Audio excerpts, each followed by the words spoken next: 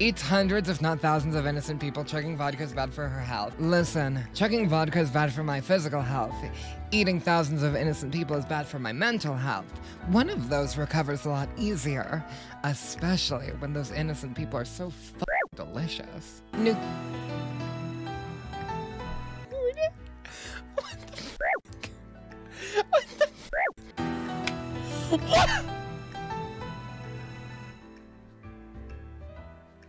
All right, you idiots. Who's gonna spend a thousand dollars on the next spin?